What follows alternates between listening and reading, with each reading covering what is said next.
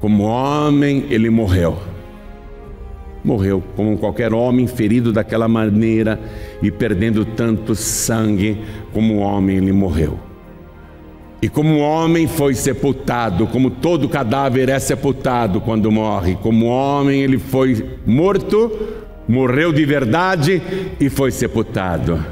Mas como Deus, ele ressuscitou no terceiro dia, porque ele disse: Eu sou a ressurreição e a vida. Quem crê em mim, ainda que esteja morto, viverá.